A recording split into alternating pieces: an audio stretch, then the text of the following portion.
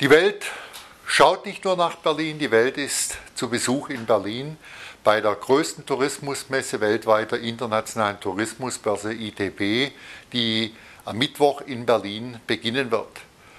Für mich ist dies die Gelegenheit, eine ganze Menge von Gesprächen zu führen, beim Rundgang mit den Obleuten des Tourismusausschusses des Deutschen Bundestages, beim Rundgang mit den tourismuspolitischen Sprechern der Landtagsfraktion der FDP, beim Empfang der Deutschen Zentrale für Tourismus und bei vielen anderen Veranstaltungen.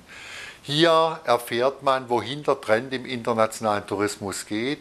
Hier erfährt man, wie das Reiseland Deutschland positioniert ist.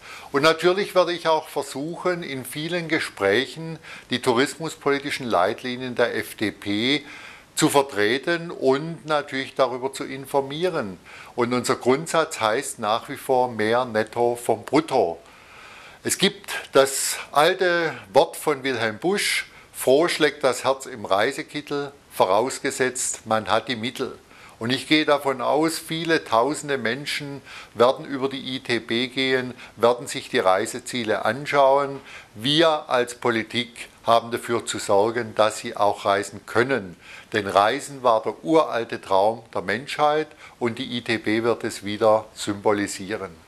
Wenn Sie weitere Informationen zur Tourismuspolitik der FDP wünschen, schauen Sie auf meiner Homepage oder wenden Sie sich gerne an mich. Ich wünsche Ihnen alles Gute.